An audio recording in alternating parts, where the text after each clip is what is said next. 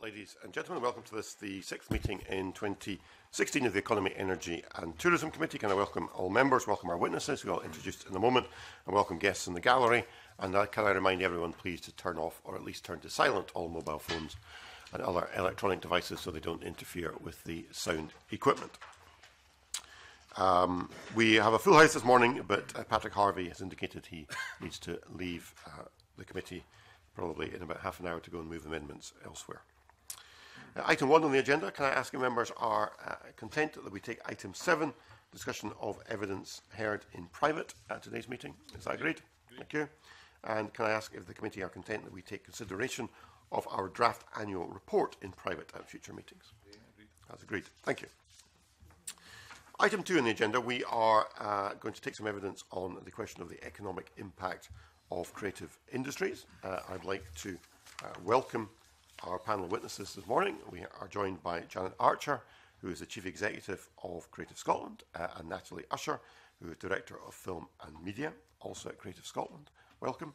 And we're also joined by David Smith, Director of Creative Industries at Scottish Enterprise, and Ian Hamilton, Head of Creative, Creative Industries at Highlands and Islands Enterprise. So, welcome to you all. Uh, now, we've got about an hour uh, for this session. We need to finish at 11 or just shortly thereafter because of other business we have to attend to.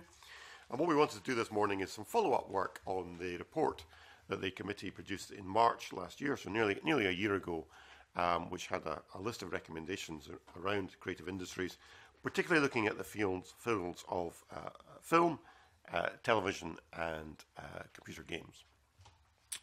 Um, and we've seen, uh, we, we, had responses at the time from Scottish Government and its various agencies, and we wanted just to see how the landscape had changed and whether any of our recommendations had been progressed in the interim period. So I think before we get into questions, uh, Janet Archer, I think you wanted to say a little bit just to set the scene perhaps uh, at the start. So maybe just take, take a couple of minutes if you would and, uh, and do that. Thank you, Condina. Uh, uh, we're very pleased to be given the opportunity to report to the committee today um, alongside colleagues uh, from High and, and Scottish Enterprise. Um, community will, members will be aware that Creative Scotland refreshed its approach to planning in 2014. We produced a 10-year plan, and underneath that, we made a commitment to produce individual strategies for arts, screen, and creative industries. We published our screen strategy in October 2014, and I'm very pleased with the way that we've been able to take up on those drivers for change. Uh, and we're hoping to have the opportunity to tell you in more detail today what exactly has been achieved uh, set against that. But we will be publishing a more fulsome report, which we'll make available to you too, which gives you an illustration of the extraordinary amount of new productions, of new talent, uh, the work that we're doing in terms of film education, the work that we're doing in terms of, of marketing Scotland as a location for the world to come to. So a very positive story to tell there. Creative industries we're treating separately, which obviously covers the 16 areas of, the creative industries that we're, we're, we're, we're tasked with supporting. Uh, we're producing, we've been working very hard in partnership with all of the, our partner public sector bodies, which include High and Scottish Enterprise, the Scottish Funding Council, who jointly fund our Director of Creative Industries post. Uh, we're shortly going to be publishing our creative industry strategy, and the arts strategy will, will, will, will, will sit alongside that too, which deals with all of those organisations which are very much part of the creative industries, but which will always require a level of public su subsidy uh, in, in, in, in order to exist. Um, and so I suppose a, a, a big example of that is the Edinburgh International Festival, uh, which, which, which, which is, is our largest client. Uh, the connect across both the cultural side and the creative industry side is increasingly recognised uh, and uh, Creative Scotland is increasingly recognised both within Scotland, I think, but also outside of Scotland as, as, as, as being quite groundbreaking in bringing those two pieces together. Thank you very much for that uh, introduction. Uh, th there, are, there are really three areas we covered. There was film, television, and uh, uh, computer games. I think, I think to just try and provide some focus. I think we want to start off with film and then we'll move on to, to the other areas. If I recall the report we did in um, March last year, I think when we took evidence that the biggest concern in the film sector was the lack of a film studio in Scotland. And we've had um, a number of submissions that have come into the committee just over the last week or so uh, in advance of this, this session, um, which have, have reinforced the message that uh, uh, from the producer's point of view, there continues to be a concern about the lack of a film studio uh, and the sense that uh, you know we're we're a year on from that report, we don't seem to be any clearer as to what's happening with delivery of a film studio, which so many people believe is is so vital for the industry to develop. So, are you able to give us an update today of where exactly we are with a with a film studio for Scotland? We are uh, to an extent. I'm going to hand over to David Smith, uh, sure, yeah. who will talk about that. Thank you. Uh, first thing I would say is there's a huge amount of work going on behind the scenes, which uh, we'd love to be in a position to to share, but uh, we can't share a lot of that detail for reasons of commercial confidentiality. But we are and remain absolutely committed, uh, along with Creative Scotland and, and Scottish Government, through the Film Studio Delivery Group work to ensuring that there is additional screen infrastructure developed and put in place in, in Scotland. As we've touched on before, um, particularly because of state aid rules, we are very dependent on the private sector leading investment in the studio infrastructure. But there is progress, and we're continuing to negotiate with a private sector developer on a like proposal. We, from the Scottish Enterprise point of view, particularly are bringing our knowledge and expertise in, in infrastructure and uh, commercial matters and negotiation to, to, to those talks. Creative Scotland the colleagues Natalie, Janet and her team are, are obviously bringing their considerable knowledge and expertise and knowledge of the, the sector to, to bring to bear in, in helping with those negotiations, uh, acting as an advocate for the sector. And uh, I've been working considerably on developing the ecosystem, funding, production, skills needs and so on, all of which is helping. Look, we, we appreciate the, the sector's patience on this matter. We've been working, uh, as I know you realise, with this developer for some time, and there have been a number of iterations on the proposal in order to ensure it both meets EU stage rules and public and private sector interests and requirements. Uh, I want to emphasise to the committee today that we're navigating incredibly complex and shifting terrain with this proposal. Uh, studios, as we've said before, are notoriously difficult to to make work commercially, which is why we're taking time to, to get this absolutely right. Meanwhile, though, there is a great deal of progress that's been made in the, the film sector more generally. I'm sure uh, Janet and Natalie in particular want to, to touch on that, but uh, over a period of about six or seven years, if I recall, recall rightly, film production spend in Scotland has pretty much doubled. Uh, Janet and Natalie, I'm sure, will want to, to comment more on that. Uh, we're seeing nearly uh, coming towards the end of the completion of Series 2 in Outlander, which has uh, been terrific, has generated a lot of economic benefit and employment, and is definitely one of our really successful productions. And recently, we've seen really exciting announcements like Robot War starting to film here in Scotland, and some of the additional technologies and cutting-edge technology that will bring here to Scotland. Janet and uh, Natalie may want to comment, follow those. Mm. Yes, I think the the point that David's making in relation to the acceleration in terms of production spend in, in Scotland is, is tells quite a powerful story, and of course that is in in in, in the main. Uh, due to Outlander, but what that has done is create a new confidence, and the number of new productions that are coming to us um, very clearly signals that, that the world sees Scotland as being open for business in a, in a very proactive way. Um, and we're, we're very pleased about that. We have a location service at Creative Scotland. We have a team who proactively work to, to, to sell Scotland as a place to come and, and make movies. Um, I don't know, Natalie, whether you want to embellish that in any way. Uh, yes, I support that. Um, we we have always said that one of our priorities is, is to deliver um, studio facilities infrastructure for Scotland, and we absolutely um, are working to do that. But I think that we want to be clear that there are a number of um, studio facilities available already in Scotland. We have a really, really large US production in Outlander in a facility that has been developed by the owner of that property. We market um, convertible studio space, which is something that US studios want. We surveyed them at the end of last year and said, I mean, it's a truism, but if you were offered um, a fantastic studio, brand new spec uh, at this price, or um, a big barn that you could convert at this price, which would you prefer? So it depends on their budgets as to which one they will choose. But it, but it, but we are able to offer a number of options to US studio spaces or productions coming, which is still good. We are um, uh, seeing the benefit of the new uh, 1.75 million pound production growth fund which we announced last October, which is a non-recoup- non-recoupable grant to people coming here and spending their their budgets in Scotland. So we've seen increased US studio interest as a result of that. They're looking at the UK anyway because of the UK tax credits. And then they also look, they say, we've got this production, we need this build, what can you do for us for Scotland? What we can say is we've got all these spaces that you could use, you, you could convert them. That has an impact on budgets for those facilities, but they would potentially choose to do it. Outlander did. What we want to be able to offer them is a greater choice, and we are working really hard to do that. But it's not as if we have to turn people away because we haven't got the shiny new studio. So I think I would just really want to emphasize that we absolutely see that as something that we want to deliver. We've said that and we're working towards it.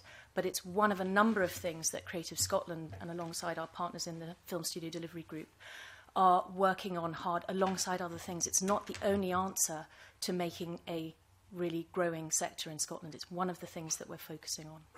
Okay. Um, maybe I can come back, Mr. Smith, to, to yourself and your, your original comments. And I think the committee you know, understands the issue of commercial confidentiality. Nevertheless, I think you'll, you'll appreciate you know, there's a, a, real sense of frustration that comes out of the submissions that we've had that you know, we are now a year on from the evidence we took, in fact, more than a year on from the evidence we took in relation to um, our report last year. People just don't see anything happening. There, there's uh, press reports about planning applications for the studio at Pentlands, uh, and it's all confidential, and nobody can talk about it, so nobody really understands, are we actually making any progress at all. Um, just, just to read you something that came in, in in the submission we got from the Association of Film and Television Practitioners in Scotland, you know, that they make the case uh, very clearly that, that Wales has two major film studios with six stages. Northern Ireland has two major studios with six stages and plans for more studios in development. These two small nations of the UK, both of them, you know, smaller than Scotland, substantially smaller than Scotland in both population and landmass, have four studios with 12 stages, and we've got none currently that match that facility. Uh, is there anything you can say today that will give reassurance to people in the industry who are deeply frustrated that they just don't see anything happening? We've been hearing for 50 years about the need for a film studio in Scotland. Are we any closer today than we were even a year ago? Well, as, as Natalie just uh, touched on there, the first thing I would say is we, uh, we, we, we do have uh, active operating studio infrastructure today in Scotland, we have seen a very substantial increase in production spend in, in that area over the last few years in particular. Uh, the challenges, particularly in relation to this current proposal, have been many and complex in, in nature, and we've, uh, we've been working through them. We can't circumvent them, but we've been working through them. We are being as creative as we possibly can be. We're taking very innovative ap approaches to addressing the challenges. And I can assure the committee that we continue to have encouraging and productive negotiations with the developer. Uh, yeah, I hope you'll appreciate that uh, because of uh, commercial confidentiality, I can't go into the, the detail of some of those, those challenges and issues. but, I, I, do understand that, Mr. Smith, but I think what we're looking for and what the stakeholders are looking for is, is, some reassurance that we're going to get a resolution of this and some understanding of a likely timescale for that. And can you give us any reassurance? Well, I, I can point to the fact there's great uh, appetite and uh, interest on the part of the, the developer to uh, to try and uh, put all the elements in, in place to try and secure uh, a positive outcome here. We're of a, a similar mind and we're pr providing every support. Look, we're, we're very dependent, as I said earlier, on uh, the developer themselves and um, helping and supporting them to put the final advanced stage. When is it going to happen? I, I, I can't, I, I, it would, would be inappropriate for me to put uh, a timescale on something which is going to be determined. So you're by, not in control of it? By the developer. Well, as I mentioned earlier, we are very dependent upon the private sector, the private sector developer, and taking forward uh, investment proposals around studio infrastructure. You pointed earlier to the examples in Wales and Northern Ireland. Uh, in, in all of those instances, private sector developers have played a a leading role in taking forward the development of, of the infrastructure in those locations. And we have had across Europe, as uh, mentioned previously at the previous committee session, instances where uh, particularly uh, developments that have been uh, state-led have had to be unwound. The Ciudad de la Luz example in, in Spain, which uh, was in a highly publicised EU ruling a couple of years ago, uh, that uh, that whole uh, state aid and investment had to be uh, repaid, repaid back. So we're absolutely determined to uh, develop studio infrastructure here in Scotland, but we're determined to get this to get this right and to, to do this very much in conjunction with the, the private sector. Okay, a number of other members who want to come in. I'll start with John Lamont. Um, I mean, I think you, you understand the frustration that basically we've been told, and for time immemorial, we are absolutely determined and we will do. But, but that doesn't seem to me to be any progress. I mean, to repeat the point, And I think the concern of the industry, and, and I'm the concern today, is actually you're explaining it away. You're saying on the one hand you're determined, but there's, anyway, we're doing all these other things. And there are spaces and people need not to worry. But in the sense I get from that is, um, and I wonder if you, am I fair in this, that while you think that the studio might be a good thing, you don't think it's absolutely critical. Uh, please, please don't misunderstand our, our determinations on, on, on wavering and, in in, in our determination to work with the private sector to put in place additional more studio infrastructure here in Scotland. So it's not a case of one or the other, it's very much both. It's a, it's a case of taking forward uh, our efforts to secure even more investment in studio infrastructure as well as uh, some of the work that Janet and Natalie have outlined, uh, developing the, the overall ecosystem, the conditions within which uh, more productions, uh, more private sector investment will be attracted to. Scotland. A different industry, there would be a different approach. Because the fact of the matter is the industry is critical to the economy. The figures we were shown were that we're falling behind all of these other parts of the United Kingdom.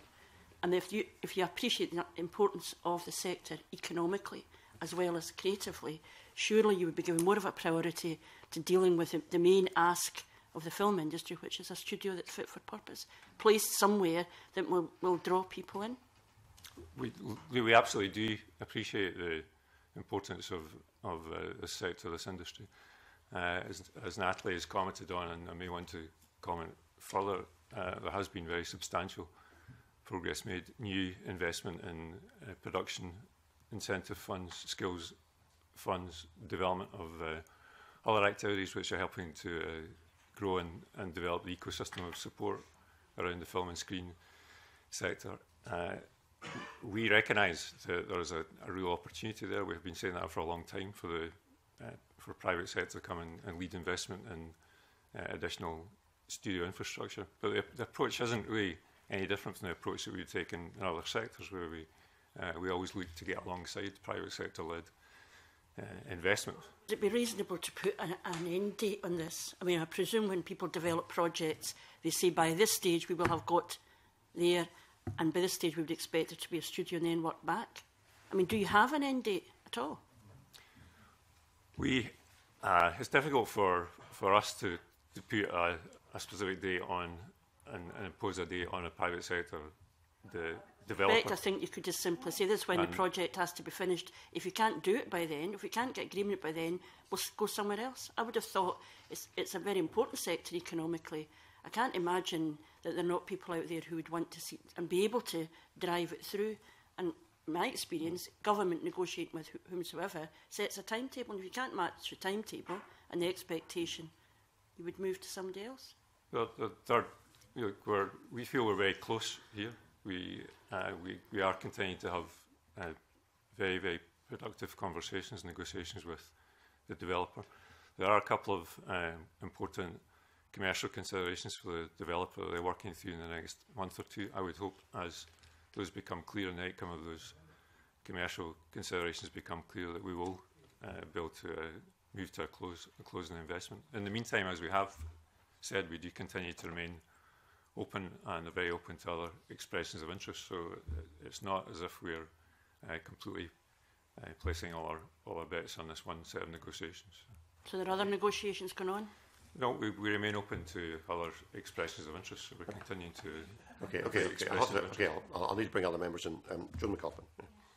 The Film Studio Delivery Group, can you update us on who's on it and when it last met?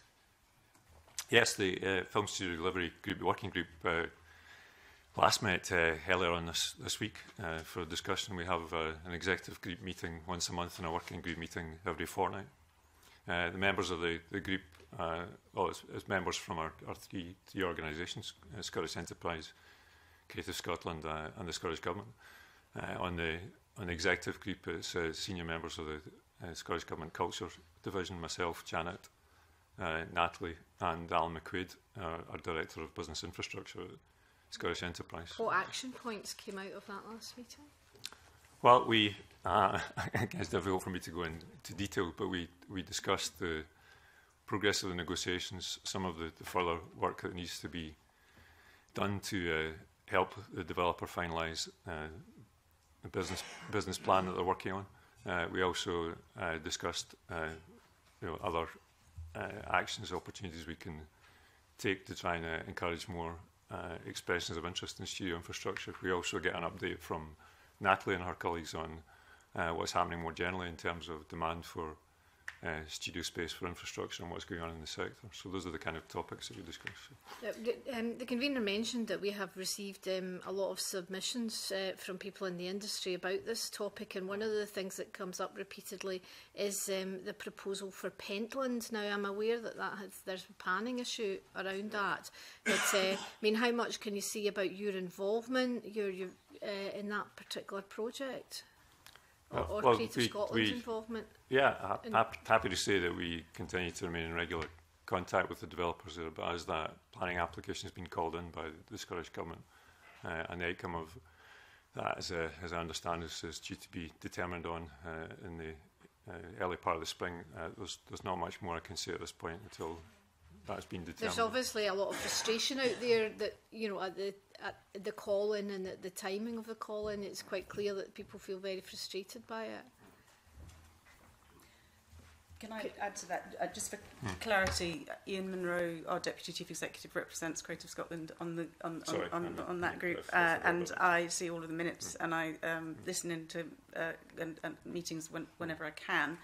Um, and in, in relation to Pentlands, we've met the Pentlands team, I think, three times over the course of the journey of the development of, of, of that proposition, um, where clearly they have, have, have, have, got to be able to, as a, as a commercial developer, develop at their own pace. Creative Scotland's role in that is to, and, and indeed our role in, in, in, in all of the studio propositions, is to scrutinise what's being proposed by any developer and absolutely make sure that it's fit for purpose in terms of industry needs. So that's where we're focusing our, our intelligence and, and, and expertise in, in, in terms of the studio proposition. Obviously working as, as, as closely as we can to encourage um, an acceleration in relation to how, how things are being responded to. Is it a good project in your view? The, the Pentland one? It, it's a mixed use development, so it's not just focusing on, on, on film. So one aspect of it is is film. I think uh, th from the perspective of the, the, the, the film bit, uh, it, it looks as if it's coming together. Um, because it's it's in it, as all of these projects do it's it's sh it's shifting and changing um, as as as they as they're um, building their business model uh, it would be wrong of me to comment on the specificity of it at this point in terms of whether or not it's going to meet industry requirements um, I think it would be it would be wrong of me to to, to um, uh, talk about the detail of that, um, which would obviously compromise the commerciality of, of their proposition. Um, they've got a good team. I think we can say that they've got a they've got a uh, a team that we respect. Um, um, what I'd say is that the AFPTS, um, the Association of Film and Television Practitioners, who's, who's put in some questions to you, um, Willie Wands is one of the people who've, who have been in to um, speak to the those people, the proposition. They've scrutinised the plans and all the rest of it, and they are as representatives of the sector who would be working in that environment think it's really fantastic proposition. Um, so that's that's the feedback that's coming from the sector. Right. But I th and of course it's important to note that that that proposition doesn't currently um, involve any public sector investment. as a private development. It's, in, it's interesting that given that our whole all our discussions over time have been about you guys working closely together correct me if I'm wrong, but I'm getting the sense that you know you at Creative Scotland seem to know quite a bit about this project, but David, who's working on a different film studio project at Scottish Enterprise, doesn't seem to have much to say about the Pentland uh, proposal at all. So, are, are, uh, have you been talking, given you've got this group? Are you talking about that? So, do you think it's a good proposal then? Can you? I, I think again, it, it, looks very exciting and ambitious. Uh, to add to points, comments that uh, Natlev made, but uh, as we've, we've, touched on, I don't think it would be appropriate for us to, to comment further until we uh, get the outcome of the, the, the planning determination. There, so. Okay. Um, just, I just wanted to... Question. Yeah, last, yeah, just to make a final point that um, Natalie um, and uh, Jane uh, Janet had, had mentioned um, this figure about the production spend growing from 12 million uh, uh, doubling. Uh, but in the UK, production spends 1.47 billion. It's obviously been pointed out that our share of that is then 3%. So, and most of a large part of that is Outlander. So there is a sense that we are very behind. We should have a pop population share at the very least, you know, and probably more given our landmass, which is it's much greater than 10% of the UK landmass. Um, the 1.6 billion pound figure, I think, is is the screen sector figure. As a production spend is people across um, film, television, and commercials have come to Scotland and actually spent money in it. The value of the screen sector, I think, is a, is a different, slightly different figure. Okay. And can I just also add? Um, in your summary of comparison with the other uh, nations in the UK to say that we don't have stages or studio space. Um, I just want to reiterate that we have four stages with a US produ uh, production company, Sony, in there. So we want to build on that, but we have got something. Thank you. Okay, I've, I've got the members who want to come in. Can I ask the members to be brief? We, obviously, we can't spend the whole hour talking about one issue, so I ask members to be brief. Firstly, Gordon MacDonald. Two, two very quick questions. Um, Scotland was voted the world's best cinematic destination by an American newspaper's readers recently. So we know we can attract film companies for the for the outdoor locations. The Film Studio Delivery Group was set up in May 2013, nearly three years ago. What steps have they taken to address the problem of lack of indoor studio facilities and editing and finishing space so that we can make the benefit of, of what jo um, Joan mentioned of the 1.5 billion. Our share should be 126 million. We're currently getting 46 billion pounds of spend in this country, so we're missing out on 80 million pounds of spend in Scotland. So, one, what's being done to do that? And secondly, are we missing out on European regional development funding?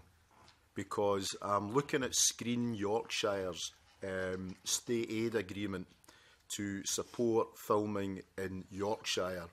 And it highlights that the fund for this scheme is from the European Regional Development Fund.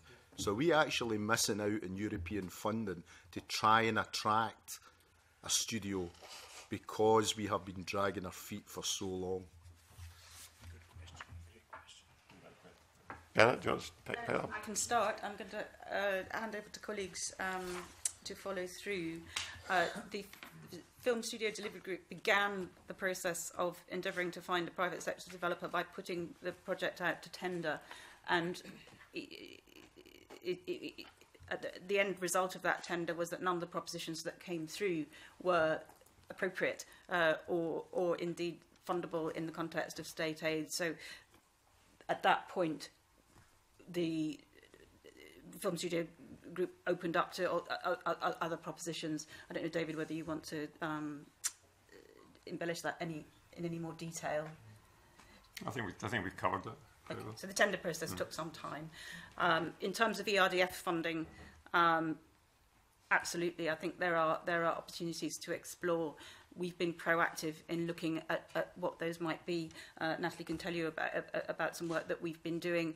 Uh, it's not straightforward um, within the context of, of, of the way that ERDF is currently working in Scotland, uh, but we're hoping that we can begin a conversation and we're, and, and, and we're working with Scottish Government colleagues to look at how we might be able to engineer an environment where more ERDF funding benefits Scotland in the way that it does in, in, in other parts of the UK. Natalie, do you want to add to that?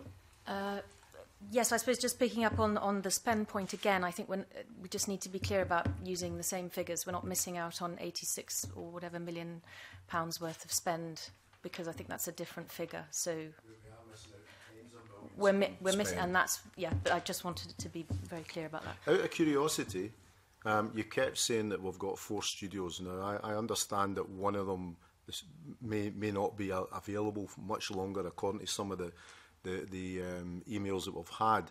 But bearing in mind that Wales and Northern Ireland have got large studio complexes, and you've mentioned that we've got four, can you tell us, in terms of square footage, how our four studios compare with Wales and with Northern Ireland? Are we 10%, 20% of the floor space that they've got in the other two uh, nations of the UK? I haven't got those figures, I'm afraid, but we can certainly provide them to you. Mm-hmm. Sorry.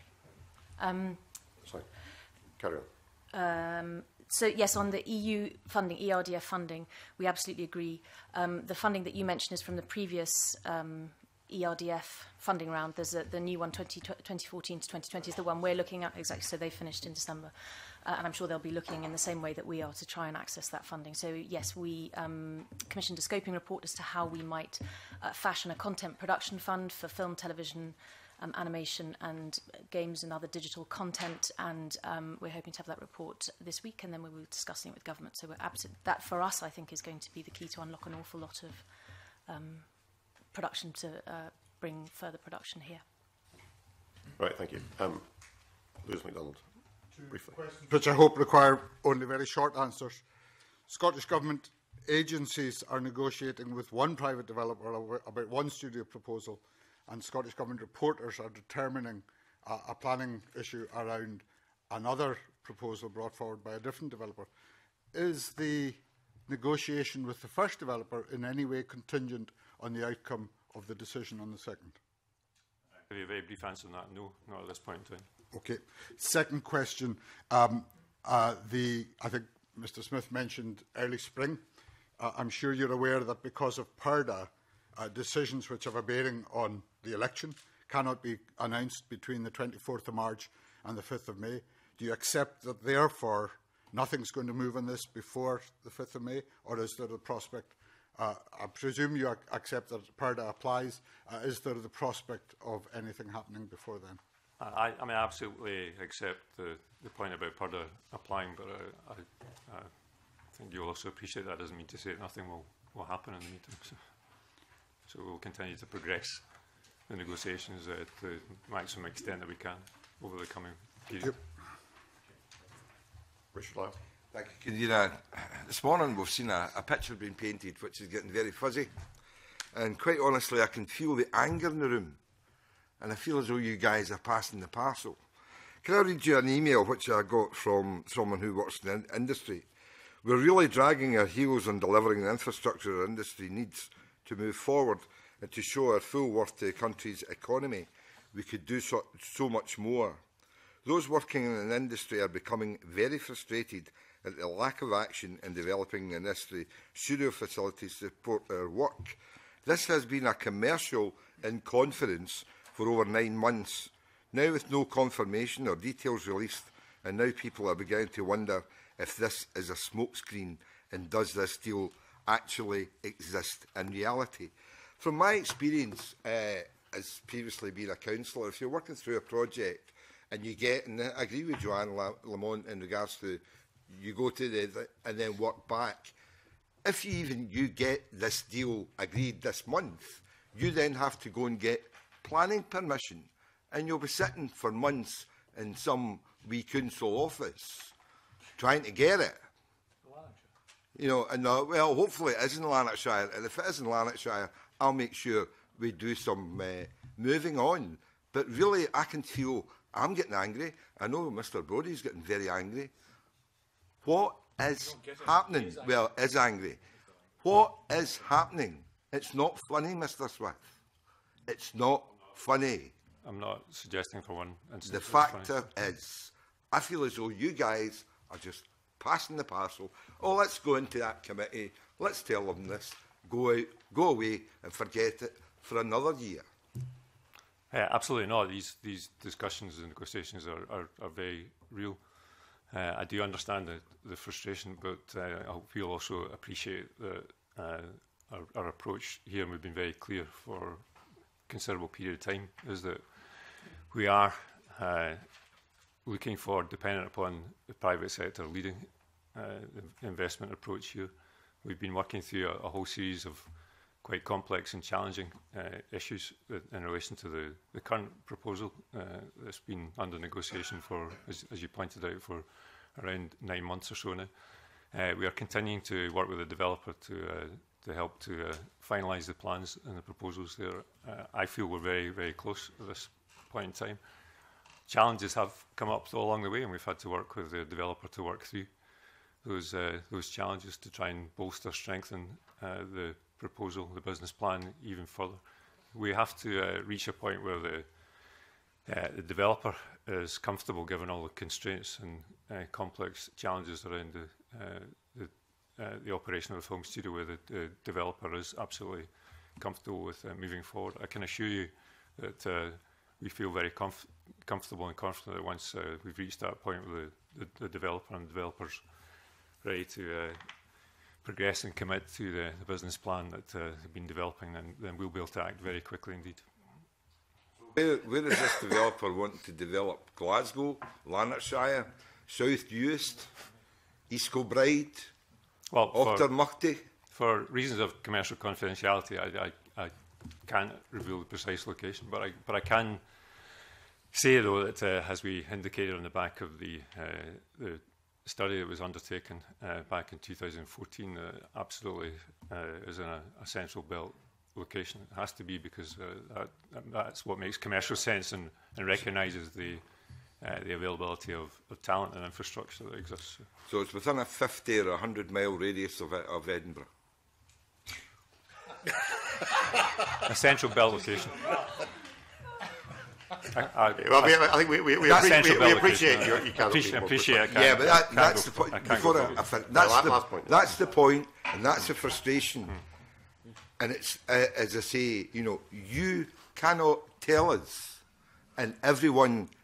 people who are writing to us don't, with the greatest respect to both these, don't believe it's happening.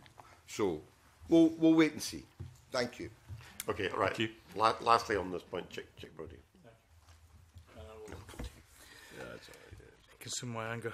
Um, European state aid rules. We've heard there's no be no application for European funding, so that doesn't come into question. There's no displacement. In fact, we're adding jobs.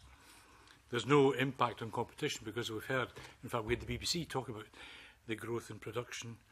So, and there's no direct public sector involvement in terms of the construction. Right? So I'd like to know what state aid rules are hindering us progressing on this. That's the first thing. Second thing I'd like to know is, is on the basis that you were at an advanced, advanced stage in November, that assumes you've got a timeline and a project chart or a Gantt chart or whatever you want to call it in terms of activities and what the risk factors are as we go through that. If you have that, I'd like to see a copy of it. And the last question is, how much have you actually spent on this project to date? Uh, okay, let me take uh, those, those in, in order. Uh, on, on the point about uh, ti timeline uh, approach, the uh, timeline very much uh, and project development plan very much rests with the, the developer. So the, in any project of this nature, there should be an agreed timeline because the parties involved are, are joint. So presumably you have on your wall, as I'm sure most managers do, a project chart of the things that have to happen, when they have to happen, and what the risk factors are. And, and there's no commercial confidentiality in that, by the way, because we're not asking about commercial de details. So where is the chart and where are we on that? And what do you mean by advanced stage?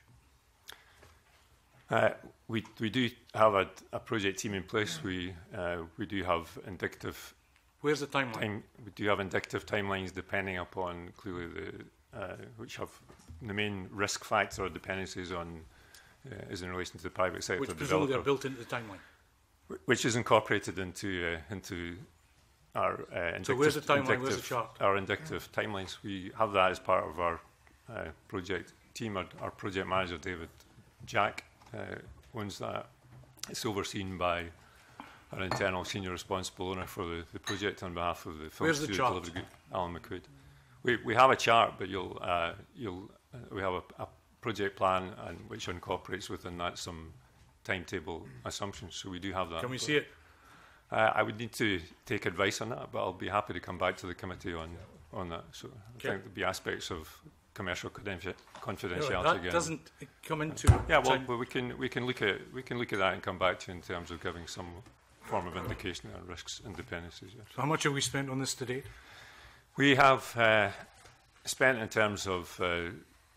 research and planning. Need to get back to you with uh, an exact figure. I don't have the precise number in, in my head, but somewhere in the region of uh, north of about sixty thousand pounds plus in terms of uh, consultancy research, taking uh, sixty thousand formal, formal external advice, uh, commercial advice, legal opinion. Just some 60,000? Some, some, due diligence. In terms of direct spend on the, the project. I'll come back to you with a precise figure, though. I don't have the exact number in my head. Sure. Can I ask you also? Sorry, you, really you, sorry your first, I, didn't answer your, I didn't answer your first question. Apologies. Yeah. So, uh, the, pr the principal uh, point that we have to uh, uh address is to act in accordance with market economy investor principles, and that's what uh, we've taken extensive advice from the, the government stage you know, and also from external legal advice, legal counsel advice, and and and, yeah. and in essence, the what lies behind that is that we we do have to ensure that any uh, public sector support is within uh, EU stated limits, but also also that any support we provide doesn't distort but there's the, no displacement, the overall market. No well, displacement, no no no imputation mm. for competition. We're not asking for European state funding, and a large part of the investment is private sector investment. But we are this this facility, given its scale and nature, would uh, would would compete at a UK and European level for the attraction of productions and production funding. So we do we do have to take that into, into consideration. I think. Yeah. So the EU state aid uh, legislation applies to the UK with it. So it's not that we're applying for EU money. It's just that the the legislation applies in the UK, and we have to comply with the aid intensity levels, i.e., the um, proportion of public investment compared to private. That's what we have to work within. Okay, thank you. Okay, thank you. Right, I think we probably need to move on to a, a, a different topic. I'm going to bring in uh, Dennis Robertson. Uh, thank you very much, Camille. Uh, and in fact, Natalie, you just um, sort of uh, sort of led me on to this uh, uh, question that I'm going to. Um, we've got a 10-year plan. We've heard about the 10-year plan, uh, and that's a, the sort of strategy for moving forward. Uh, But the Scottish Affairs Committee at Westminster recently met and they've come out with 12 recommendations, and in their words, to have a robust assessment of the creative industries. Um, are you working with the UK government uh, as, as a, uh, within the recommendations of the Scottish Affairs Committee, and does that impact on your 10 year plan? Probably Janet. Creative Scotland's 10-year plan. Um, and yes, uh, one of the recommendations you will have noticed on uh, it, through the Scottish Affairs Committee is that Creative Scotland would be given a place on the UK Creative Industries Council. Uh, I, I, prior to that, um, as was recorded in the in the evidence that I gave, had negotiated observer status for two of those meetings. Um, so we're in regular dialogue uh, with the wider UK. We have a relationship with the B BFI. Um, we talked to DCMS colleagues through our uh, Scottish sponsor um, relationship um, and, and, and, and independently. So there, there are a, a, a we talked to all the um, five nations arts councils uh, in relation to arts and creative industries. Um, so there, there are, and we talked to British Council, so there are a number of, of, of avenues where we connect into, into the broader context. Is the recommendations you've come up with has that made you uh, uh, look again at your 10 year plan to incorporate um, their recommendations? Or were you confident within that 10 year plan that you were actually covering those the, the recommendations that they came up with?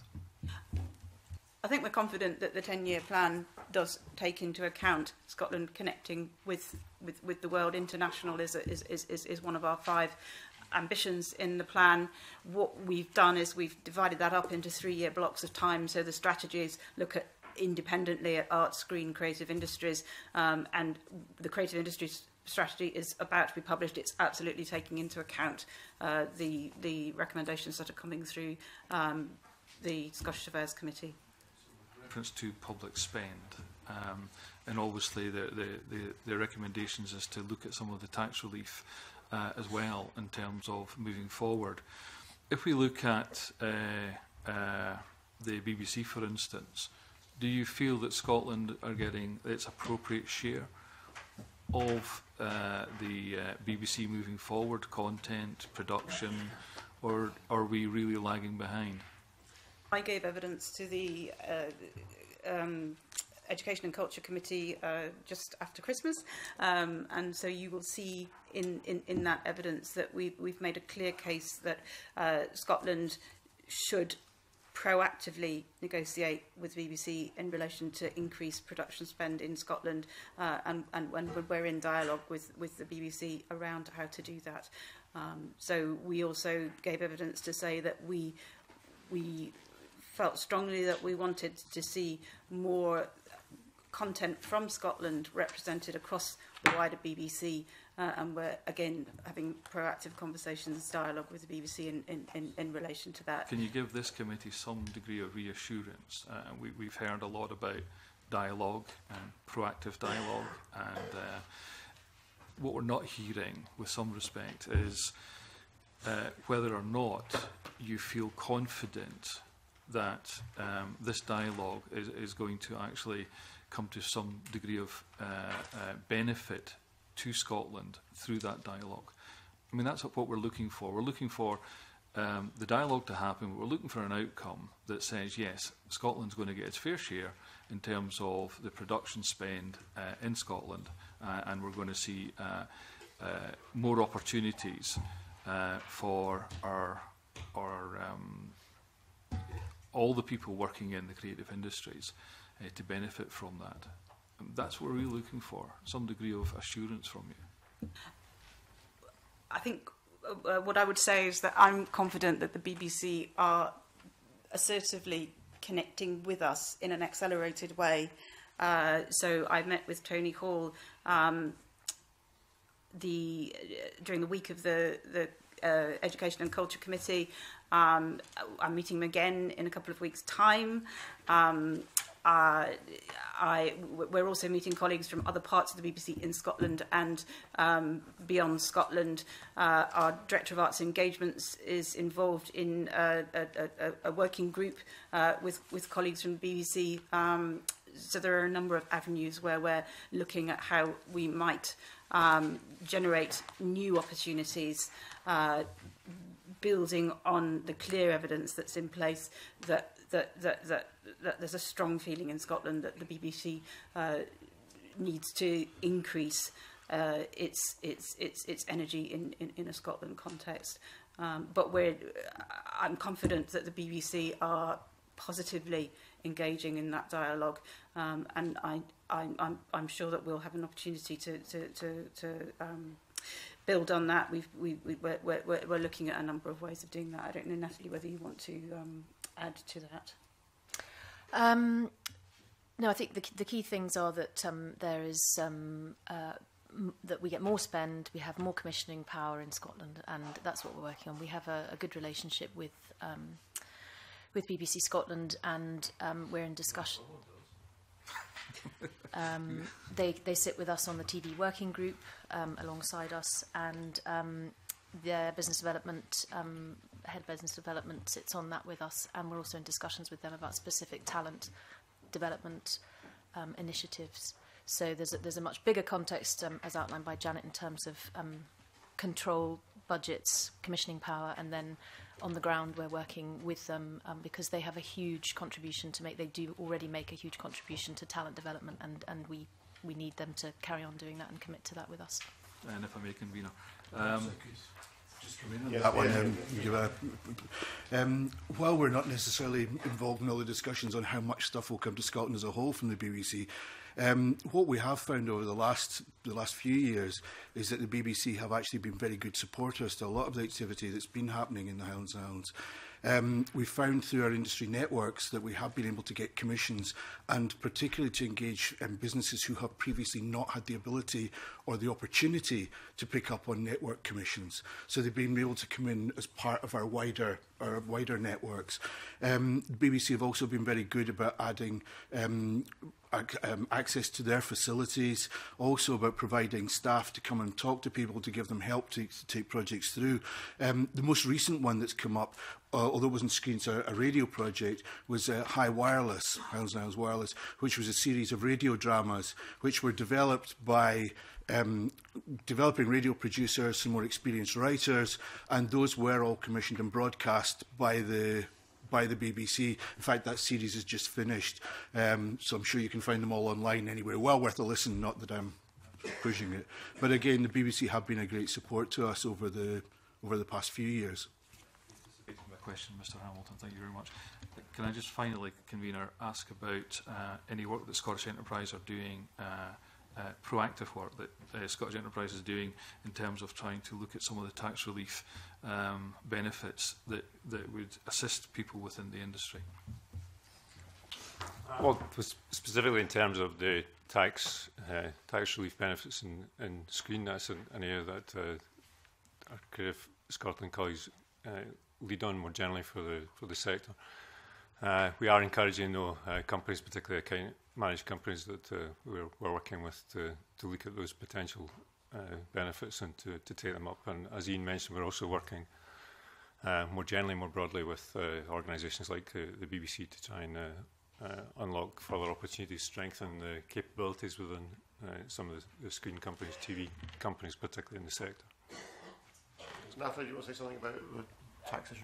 Just to um, to reiterate, in the screen sector, the the high end TV, animation, and film tax credits are absolutely crucial to us selling um, Scotland internationally, plus you know, as well as for those companies working here.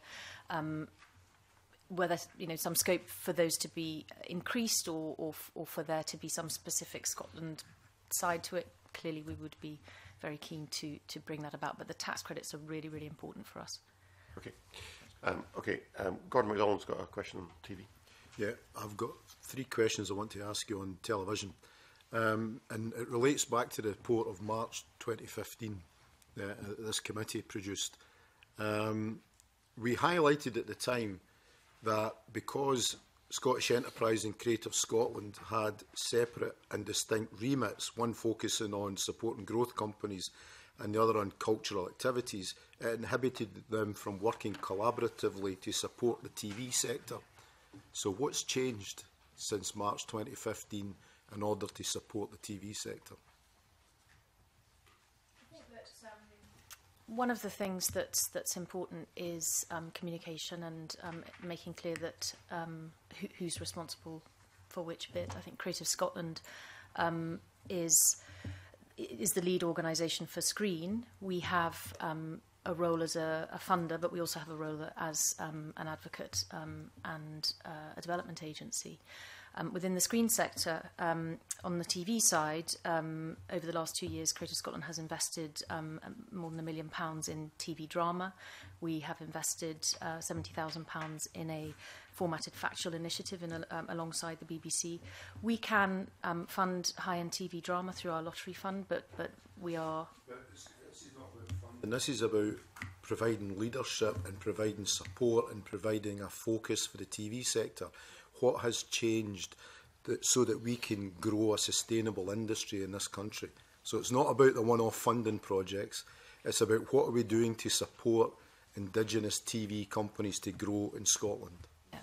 Um, I was merely just illustrating that we we have been able to invest in TV drama, but um, we are mainly through the lottery fund focused on film.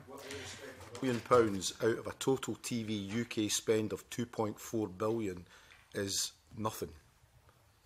Which that's Creative Scotland's investment in TV drama. Mm. Um, so through the TV working group, um, since March 2015, um, the terms of reference have been updated and. the uh, work of the group has been focused on developing a strategy um, for growth and internationalisation. Um, a subgroup has been set up uh, over, towards the end of last year um, to work on that, and um, there's a tender out or about to go out to um, uh, to engage a consultant to work specifically on the strategy for growth. And we would look at the PACT report that was published at the end of last year, which we support in its um, findings, And we would say the TV working group would work alongside that. And the number of, um, or the chair of the TV working group is, is um, chair of PACT Scotland, director of PACT Scotland. Um, and so we see those two um, initiatives working alongside each other to develop that growth. And I would add to that by saying that a million pounds may not sound very much, but it is 25% of our production fund, our lottery production fund, so it is significant to us uh, in terms of its, it, it, it, the level of investment.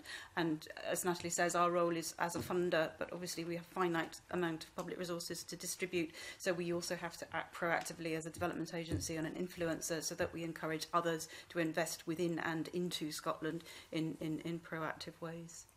Yeah. again, if there was a um, if I could just come in on that one. Um, just one of the, the partnerships I would like to highlight is the, the relationship we have with Scottish Development International as well at the moment. Um, that, that has been a really productive relationship, particularly over the last few years. And we now have the, the joint post um, located within HIE for, for SDI. But um, I think the, the bits that are important to, to mention to you just now in terms of the wider support that, that that's allowed is that we've been able to identify particular events, I'm talking to industry directly about where the best opportunities are likely to occur. We've also been able to develop a, a wider range of international partners who can give more detailed information um, around what those markets are looking for. And we've also been able to put support in place to ensure that we can encourage greater collaboration between the small businesses in the, in the area and um, their equivalents, their peers in other countries and commissioners and broadcasters. And I think what we're looking at there is that access to the buyers, access to to additional funds or um, additional commissions. We're also looking at um, supporting the, the bringing in of um, international buyers and commissioners coming into the Celtic Media Festival. They'll be across for Expo North as well. So again, our the, the approach in that really has been about collaboration and looking to see how we can more effectively make these links and bring in investment and partnerships with other countries. Scottish Enterprise and Highlands and Islands Enterprise um, run a system of managed accounts uh, companies in order to support them to grow. Now, we've been in a situation where for the last nine years, the BBC has operated a, a policy of lift and shift. And while that has helped to grow expertise in the TV industry in Scotland, we are now at a situation where, in order to continue to support those people who have gained experience in the TV industry, we have to have um, local Scottish companies to provide those jobs. So bearing in mind you have the managed accounts uh, companies, can you say what focus your two organisations have had on supporting new and emerging TV companies? Yeah, we, we, we have uh, 20 uh, managed accounts or account management companies in the, in the TV sector currently. Uh, and a lot of our focus there is on uh, helping those companies to, to grow. International, as Ian has just mentioned, has a big big part to play there. So uh, for a number of years now, we've been undertaking uh, events, taking uh, companies out in, in, a, in conjunction with, with PACT to international events at, at MIPCOM, TV and, and targeted uh, missions, trade missions activities to countries like uh, Australia and um, Brazil, for example. So that's that's some illustration of the, the work we've been doing. We, we also uh, can you highlight what the growth in turnover or employment has been for these 20 managed com companies since you got involved with them? Oh, uh, I can't tell you that off the top of my head, but I'm I'm happy to come come back to you with uh, okay. with uh, a specific answer on, on that, that question. I think I think though in relation to the, the broad, broader point though. Uh, The, uh, as, the, as the recent PAC report highlighted or pointed out, there has been around uh, 9% year on year uh, growth in the, in the, the sector so the, uh, as a whole across the economy. So I think that's, that's encouraging.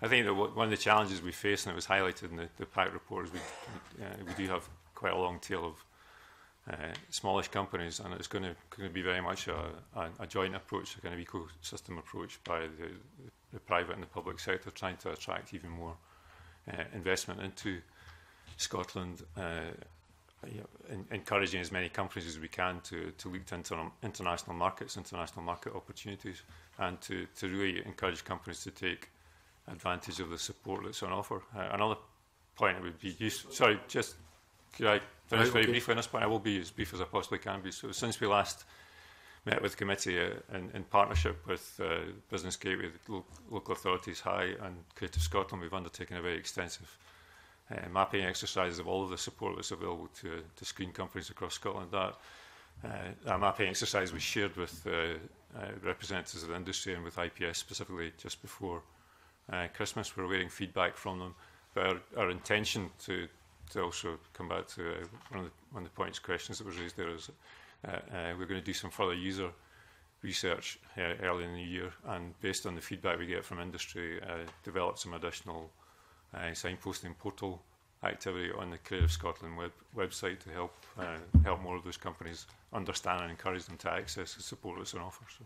The, the, the, what is the I mean, I, I know you're still doing a, a, bit of development on this, but what, what is the nature of the support? Because I was looking at Northern Ireland, and they have funds for script development They have funds for development costs of a project up to £40,000 for an individual project. They have project development to take it up to the next stage of 50% of projects valued up to 200000 So do we offer something similar or if we don't, is it our intention to offer something like that that's taking place in Northern Ireland? Shall I speak? Um, yeah, so Creative Scotland's £4 million um, film fund is, is where uh, companies would access that kind as opposed to film? Film and TV. So um, we have um, three sources. Um, so single project development, so that could be film or television drama projects, can come to us for funding for the development of a script. um, they could also, uh, companies can come to us for slate development, i.e. a larger sum of money which a company can use across a number of different projects that they want to develop. We don't, they don't come to us and say, this is the project I want to develop can you give me money for that? So we would see they'd have a number of um, projects on their slate and we'd give them an amount of money. And, it, and it's, I suppose it's sort of core funding that, that allows them to be flexible in their um, operations. So um, in the last year, 15-16, we gave slate funding to five companies amounting to £345,000. We also spent £370,000 on single project development.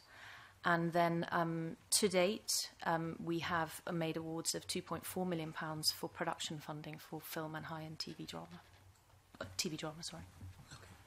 So th that, that's how our £4 million pound fund is used, plus a, uh, some other areas. In addition to that, we, we clearly have a number of uh, uh, grants and uh, support that's on offer to help grow and develop uh, the companies, the 20 account managed companies we described, but for other companies more broadly in terms of uh, developing their, uh, their interest in international markets, pursuing international opportunities. The focus of that support, as you probably not be surprised to hear, is on, on areas like uh, leadership, uh, development, on uh, availability of uh, innovation support, uh, support to help companies uh, grow, their, grow their capacity and to be able to, to compete more successfully. I mean, we've got great examples of, of companies here in Scotland, like uh, Jen Muirhead's Raise the Reef Productions, uh, company uh, has been working on really successful uh, productions for many years, like location, location, location, and, and uh, has managed to, to sell uh, into, I think it's close to 30 countries around the world, some of their productions. So great examples, great illustrations of companies that are actually really achieving, succeeding in, in international markets uh, with, our, with our combined support. So. Okay. Thank you. Sorry, Ian. Yeah, just to, to, answer that, since we, we were included in that question. It was just um, we have about 70 businesses, creative businesses, that are on our account management list. But what we, we looked at was that the account management wasn't always the most appropriate way to deal with small businesses in our area. And so we, we developed a, a network system that could provide support. So over the last year in creative industries, we've worked with about 700 businesses rather than just the 70 in the account management. Um, the results of this have been pretty good. About a quarter of those would have been in screen. Um, but I think if I just give you one very small example of how that works, it'll give you a, a flavour of the, the, the, setup. There's a, a small film production company in South Uist. They were looking to develop a project that we'd be filming there and using localised staff, so we've provided some training to support on that one. Mm -hmm through our screen fund that's available to um, let folk develop ideas and look for new collaborations. We were able to support them, introduce them to contacts in Scandinavia who have now um, come in on the project, so she has collaborators there, and there's funding come from Scandinavia towards the film, plus a, a broadcast guarantee in Scandinavian territories. Um, in order to develop that further, um, a look at additional ways of driving revenues in other than just the film in its own right. We supported the company to attend training on cross-platform working, what online content could be develop, developed as well. And to follow that up in conjunction with a partnership with, with Glasgow School of Art and the, the youth, and I use the term youth, youth quite generously in this, our young people's development side, we're actually now working with her on how apps and online content can be developed, how that can be monetized, look for other revenue streams that will help develop the, during the process. So by bringing a range of partners together, coordinated through our networks, we're able to provide a range of support and services ranging from cash on occasions, but through to um, partners, people to work with, advice and support. And by and large, this has been pretty successful.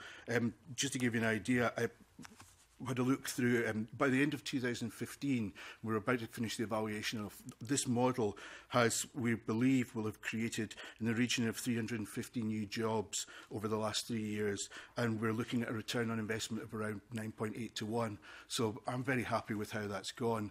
Um, we'll see when the evaluation comes in exactly what the figures are, but it's going to be in that region without doubt, and the current developments look like that will increase in the future.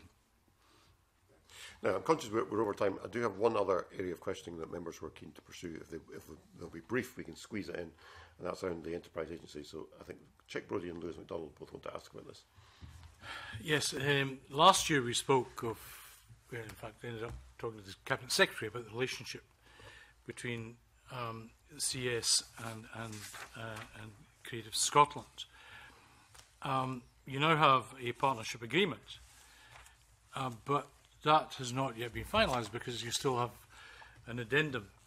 Our conversation started in March last year. Why, why is that not complete yet? Uh, there is indeed an addendum which we've agreed. Uh, the, the, agreement was signed off um, in early December last year, and we're now looking at how we can translate that into an operational plan um, to begin to deliver it. So who has control over decisions on expenditure with regard to creative, uh, creative activities in Scotland? Scottish Enterprise or Creative Scotland? Well, uh, uh, I guess the, the answer is uh, for our respective areas, we uh, each of us has control over spend decisions for our respective areas of focus. So for, the, for the economic, that's coordinated, is it? Yes, and for the for the areas of economic development activity, uh, that clearly is, is what rests with, with ourselves. Uh, obviously, Highlands and Islands Enterprise and uh, the business gateway for the uh, target uh, so we asked population for the, market. What, what Scottish Enterprise have spent on creative, creative Scotland activity, activities, on creative industries, and also yeah. Creative Scotland. Yeah, there'll be no overlap. Uh, there, there, should, there shouldn't be. I mean, there, there's obviously areas where we have some level of collaborative working where that makes sense. So around trying to uh, harness and get more uh, e-, economic growth from our cultural uh, assets, for example. So we, we undertake some activity where we're jointly working together along with other partners, for example, in the Edinburgh Festivals Forum, where we come together and we look at uh, combining some of our work, some of our activities to, to both uh, strengthen the value proposition that the, the festivals offer. But from our point of view, our, our particular interest is in trying to engage uh, as many businesses in, the opportunities that exist around uh, around the festivals, for example. Uh, we also undertake activity in the area of uh, cultural tourism, where uh, we, we have and will continue to uh, to fund in the form of quite a few millions of pounds investment into a lot of our de development of our major destinations. Some of that spend, some of the focus of that spend, again, is in encouraging uh, businesses uh, within Scotland to take advantage of uh, the very strong cultural heritage that we have here in Scotland. So, you know, things like uh, Edinburgh status as UNESCO City of Cultures, Dundee status as UNESCO City of Design, and Glasgow st status as UNESCO City of Music. So all of those cultural assets are what we what we focus on. We try to encourage uh, as many businesses as possible to take, ad, take advantage of uh, having those cultural assets and, and using those to develop new products and services, whether that's from a tourism perspective or whether that's from a digital perspective, developing new applications, uh, new innovations around those, those areas. Okay. So can I just add yeah, one short sentence? So spend in Scotland from the public sector on creativity comes from a wide range of different places. It comes through Scottish Government and, and, and Creative Scotland's share of that is about 0.0. 0.2% of the Scottish Government spend. Culture as a whole is about 0.5%. But in, as, as, as, as powerful is the spend that comes through local authorities and through Scotland's Creative Industries Partnership partners, so Scottish Enterprise High, Scottish Funding Council, who jointly fund our Creative Industries Post. Uh, through universities and, and, and, and colleges too, uh, Skills Development Scotland, etc., etc. So there's a number of different drivers in the public sector who will uh, spend on, on, on creative industries and creativity in, in, in different ways.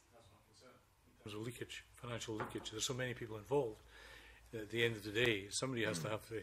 And I said this last time. One, pe- one group, one person has to have eh, the message on the desk. The, yeah, the buck stops here. I'm not sure where it is. I think Liz McDonald's got a question. If you be brief, please. Yes. Two, but I'll ask them together for the sake of time. Uh, both really for Ian Hamilton, although others may, may want to comment.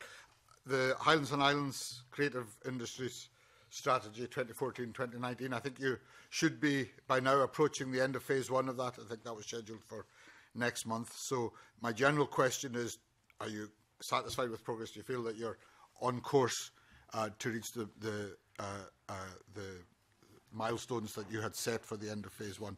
And my other question, uh, relating a little bit to Chick Brody's line of questioning, is whether, having reached this phase in your rollout of a strategy for this sector, uh, are you happy, satisfied that the interfaces you have with other agencies are, are well understood and, and, and, and work in a practical way. Um, well, answering the first part is yes, we're, we're underway with all of the elements of our strategy. In some ways, we're ahead of where we expected to be.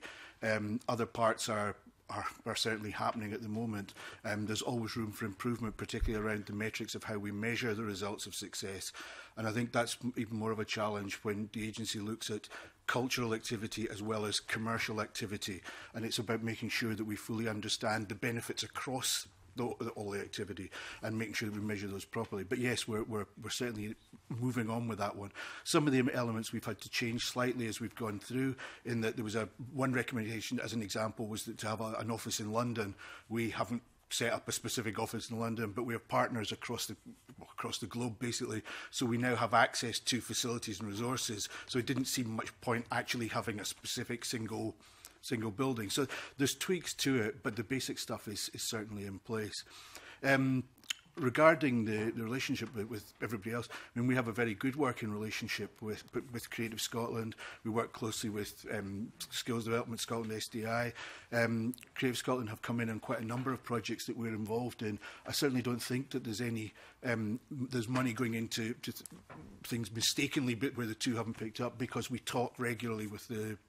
with individual members of staff through Creative Scotland. Obviously, our time with Scottish Enterprise is not quite as great as with Creative Scotland simply because um, they're looking at a different part of the country. But we do talk to each other when, when it's appropriate, when something's going to be a national national programme. Um, uh, yeah, as I said, mean, certainly in terms of our wider process, Creative Scotland have contributed and con will look like they will be continuing to contribute. I see no reason to, to have any concerns about where that's going. And what we have now agreed through Scotland's Creative Industries Partnership is to map exactly who does what where uh, and account for spend in, in, in, in relation to dis- different aspects of the creative industries and, and, and different geographies across Scotland. Uh, and we've now committed to producing a shared plan uh, out of that um, to better align and be make better use of public resource. Um, I think I'm confident in saying that all of us are absolutely committed to that. I mean, one of, one of the, if I could uh, just briefly add to that, one of the reasons uh, the completion of the partnership agreement took a little bit longer than we hoped is that we, we recognised it was important to uh, to really work through and, and you uh, know, do a, a, comprehensive review of all of the activities that ourselves and Creative Scotland were engaged in. And the partnership agreement addendum, which I'm more than happy to uh, to share, uh, don't see any reason why we can't. Then uh, more of that details incorporated and covered. And one of the really good things about working together with uh, Janet and our colleagues on the partnership agreement is it's given a, an even uh, greater impetus, ad, added focus on some of the areas that we want to undertake joint work in the, in the year ahead. So we have a workshop set up uh, later on this quarter to work with uh, SCIP partners around those areas of focus that are outlined in the partnership agreement. And uh, you know, we, we, we will keep the committee regularly updated with progress, particularly in those areas that we've agreed to to focus on together in partnership. So. One very, very short final point just to, to put in that one is that um, we, we have a, an outline document which I'd be happy to supply to, to anybody that was interested, a very short one showing how the different elements of our activity fit together and interrelate, but also where partners fit into that one in the, in the overall activity.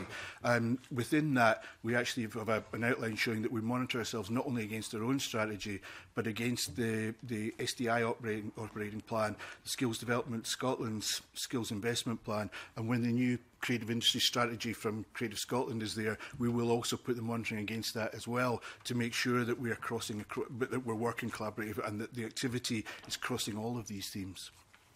And uh, one final um, assurance is, is, is that although Creative Scotland is producing its own creative industry strategy, we've produced that very much in collaboration with colleagues so um, who have been involved in, in each stage of the development of that, discussed it, um, checked and challenged it, um, and, and, and, and the end result will be something that we all subscribe to um, as opposed to just Creative Scotland as an agency. Okay. All right. Um, Thank you very much. Uh, we need to draw matters to a close. Can I thank you all for coming along? It's been an interesting session. I think there's a number of areas where you indicated you'd come back to us in writing. If you could do that, that would be uh, very helpful. Um, and at this point, we will suspend briefly to allow a, a changeover for next business.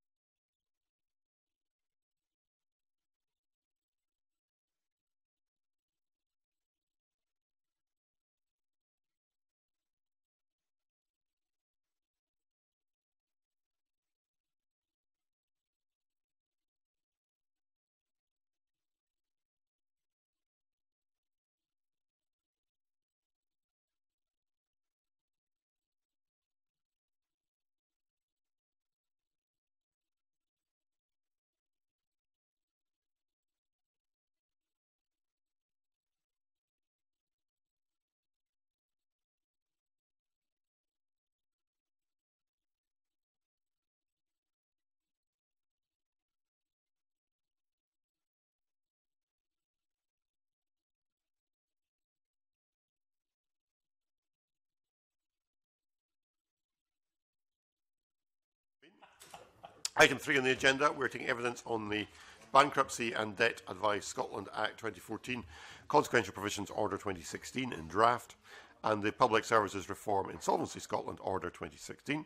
And I'd like to welcome to give evidence Fergus Ewing, Minister for Business, Energy and Tourism at the Scottish Government, to be joined, I hope, shortly by uh, Alex Reid, Head of Policy Development at the Accountant and Bankruptcy, Scottish Government, and Graham Fisher, Head of Branch 1, Constitutional and Civil Law Division at the Scottish Government. Uh, Minister, do you want to introduce this item? Yes, uh, thank you, Convener, and good morning all. I'm very pleased to have the chance to address the committee today and to bring forward two orders of a different nature. The orders may seek to achieve different outcomes, but what they both have in common is that they are intended to make life a wee bit easier for some of the people of Scotland. I'd like to talk about the first order, if I may, which is the Bankruptcy and Debt Advice Scotland Act 2014 Consequential Provisions Order. As you are aware, the Bankruptcy Scotland Consolidation Bill is presently making its way through the parliamentary process, and I'm pleased to note that it recently passed stage one. This bill will put Scotland's bankruptcy legislation in one place, in one document, aiding the accessibility and understanding of bankruptcy law for practitioners and those affected by it. In order for the Consolidation Bill to have full effect, we require to make two minor consequential amendments to the Bankruptcy Scotland Act 1985. They clarify cross references and provisions on when the apparent insolvency of a debtor is constituted and in provisions providing that, for the avoidance of doubt, the fact that limited liability partnerships cannot be sequestrated does not affect their apparent insolvency. It is the view of uh, my officials uh, uh, and myself that the consolidation bill could properly pick up these missed changes. However, we have taken on board the feedback from the Delegated Powers and Law Reform Committee, who called for the amendments to be made in order that it is clear that the bill accurately consolidates the current law in this respect. I'm confident that the minor amendments proposed in this order will allow for a pure consolidation of the existing law on bankruptcy. However, I'm happy to address any questions that the committee may have. The next order is the Public Services Reform and Solvency Scotland Order 2016. Members will be aware that in some respects, current Scottish corporate insolvency legislation, in particular devolved elements of corporate insolvency, such as the process of winding up, uh, is out of step with legislation and associated practices elsewhere in the UK and on some uh, reserved areas. This Public Services Reform Order was laid in the Scottish Parliament on 18th of January following extensive consultation under the super affirmative procedure. It is the first step necessary in making changes to devolved areas of the 1986 Insolvency Act as they relate to corporate insolvency procedures in Scotland. The legislative landscape in the area of corporate insolvency administration is complex. This is partly due to the mix of reserved and devolved competence. While administration and the legal effect of company winding up procedures uh, are reserved to Westminster, receivership and the process of winding up are devolved. At present, there is a mismatch in some of the actions taken by an insolvency practitioner in relation to a company registered in Scotland compared with the equivalent process for a company registered in England. Examples include the convening of annual meeting of creditors and members in Scotland compared to a simpler process of sending a progress report in England and Wales – uh, and the ability to use websites and electronic means of reporting and correspondence in England and Wales, whilst this is excluded in Scotland. We are now taking forward a plan to redress this situation, and this is warmly welcomed by insolvency stakeholders. As a precursor to preparing modernised insolvency rules for Scotland, it is appropriate to firstly bring the position of devolved areas of incorporated insolvency into line with the position for England and Wales. This follows amendments already made to the Insolvency Act 1986 by the Legislative Reform Insolvency Advertising Requirements Order 2009, but principally the Legislative Reform Insolvency Miscellaneous Provisions Order 2010. Reforms introduced by the Small Business Enterprise and Employment Act 2015 have also been taken into consideration. This uh, order will allow us to set about modernising and streamlining the secondary legislation, the Insolvency Scotland rules. The Accountant and Bankruptcy is in the process of establishing a Scottish Rules Working Group convener working with the UK Insolvency Service to inform the drafting of new Scottish rules with a focus on making them usable for end users and consistent with the modernised rules being developed in England and Wales. Uh, in conclusion, I know that the insolvency profession in Scotland welcome these changes processes will be more efficient and effective, saving both time and money to both the profession and creditors. Thank you. Um, thank you, uh, Minister. Uh, I don't know if any members have got any questions they want to ask about this. I just wanted to pick up uh, a couple of points that were in the submission from uh, ICAS, the Institute of Chartered Accountants uh, in Scotland. They, they make some suggested amendments, I think you, you, you referred to in, in, in passing about areas that were not covered that I felt should be covered. So can you tell us how, how the Scottish Government intends to, to deal with these? Yes, we work very closely with ICAS and there are a number of important issues that were raised by ICAS and by other stakeholders, including uh, R3 and the Law Society of Scotland. And each of these suggestions, I stress, were carefully considered, as you would expect, convener, and incorporated where possible or feasible. The reasons for not incorporating certain items were fed back to stakeholders, and, uh, and I am advised that the stakeholders confirmed that they were agreeable to the suggested contents of the Public Services Reform and Solvency Order 2016. Um, I think I can just, I think it might be helpful, just for the sake of the record, to mention several areas uh, where I, I believe the stakeholders suggested there could have been inclusion. These were, stating briefly, the introduction of a specific power for a liquidator in a court winding up to seek the direction of the court. Uh, it was thought this, this uh, had merit, but would have wide ranging consequences which were too detailed and technical to consider in the time available before PERDA. Uh, secondly, the ability for the appointment of receivers to be authenticated uh, uh, electronically. Um, Thirdly, the provisions for prosecution of delinquent directors and liquidations to be extended to appointments other than liquidations. Uh, a, also, additional filing requirement to include the accountant in bankruptcy. Uh, and also the powers of a liquidator to disclaim owner's property. And I, I know from a particular uh, involvement that this is a tremendously complex area. So essentially, our position is that we think that there's merit in some or all of these proposals. We need, we need to do work to take them forward. That's not in dispute. We're working with ICAS, with the insolvency petitioners. Um, they, they, I think, have accepted that the items that we're progressing at the moment are appropriate and are content that uh, we, uh, we take a little bit more time to work with them in order to get all these other matters, matters uh, right. Uh, so, you know, I think that's it's, it's good to have the opportunity, convener, just to explain uh, that uh, for any insolvency petitioners that might uh, uh, be reading the official report of this communication uh, later. I think it's also been agreed, and my officials are here, so they can uh, tell me whether I'm going on a trip on my own or whether I am in fact correct, that it's not envisaged that the, ins that the insolvency rules will be enforced for some considerable time. 2017, I think I read somewhere in the briefing. So, so that does give us a, some more time to make sure that uh, we get all these matters right as we intend to do. Okay, thank you. Could I, could I just welcome Mr. Fisher and, and Mr. Reid? In fact, I was going to ask you about timescales because I noticed in the in the ICAS briefing, they do say that the that the timescale to introduce new corporate insolvency rules in Scotland on 1st October 2016 is very challenging. So is that is that date still still the target date for the introduction of the new rules? I think um, I take that um, for, for the Scottish rules to come into force. I think it's uh, April 17. I think is probably the, the, the, the most likely date now. Um, there is an issue to deal with in terms of transfer of competence, um, to deal with the, the Scottish rules in relating of the areas that cross competence.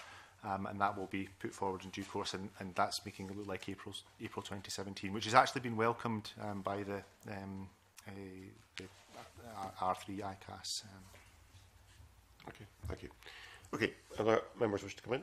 Any points, not to raise? no. Yes, Mr. Brodingham. Presumably working at, and thank the Minister for being very clear. Uh, I just wonder about the working group in terms of uh, all cross-border implications or situations will be covered by the deliberations of the working group. Is that correct? Am I correct? Well, oh, we, we are working with the UK government on these matters, so I think that's that's the primary way in which we make sure that that uh, what we do is appropriate and correct. Um, but I'm sure the, the working group uh, that's to be formed will consider that. Perhaps Mr. Reid could could clarify that further, convener. The UK Insolvency Service um, will be part and parcel of the working group. Um, they will be developing rules for Scotland covering the strictly reserved areas, Um, the working group's got an important role to play in that, um, as well as the, the rules that will be developed for those um, devolved areas and the areas with cross-competence. So absolutely, the, the cross-border issues are, are, are key to that um, group. Okay, thank you. Okay, thank you. Okay, if there's no other uh, questions people have, we can move on to item four on the agenda. And I would invite uh, the Minister uh, to uh, formally move motion Uh, S4M15253 that the Economy, Energy and Tourism Committee recommends that the Bankruptcy and Debt Advice Scotland Act 2014 Consequential Provisions Order 2016 in draft be approved. Minister. Formally moved. Thank you. Do any members wish to speak in relation to this matter? If not, I suggest we put the matter uh, to a vote. Uh, and the question is that motion S4M15253 b agreed. Are we all agreed? Yes. We are agreed. That motion is carried. Uh, item 5 on the agenda, uh, I would ask Minister if you would move motion S4M156, sorry, 15461, that the Economy, Energy and Tourism Committee recommends that the Public Services Reform Insolvency Scotland Order 2016 in draft be approved. Formally moved. Thank you. If any members wish to speak on this matter? No. If not, I will put the question. The question is the motion S4M 15461 be agreed. Are we agreed? Agreed. We are agreed. Thank you. That motion is carried. Um, fine. Minister, thank you and your officials for your attendance. Thank you. We'll just carry on. Yes. Okay, as it is, we just, we just carry on. Um, We're on item six on the agenda. We are now looking at a negative instrument, which is SSI 2016-18, the Fireworks Scotland Amendment Regulations 2016. Do any members have any issues they wish to raise in uh, relation to this instrument? Uh, okay, uh, if not, are we content that the instrument comes into force? Yes. We are content, thank you. And at this point, we will move into private session. Thank you.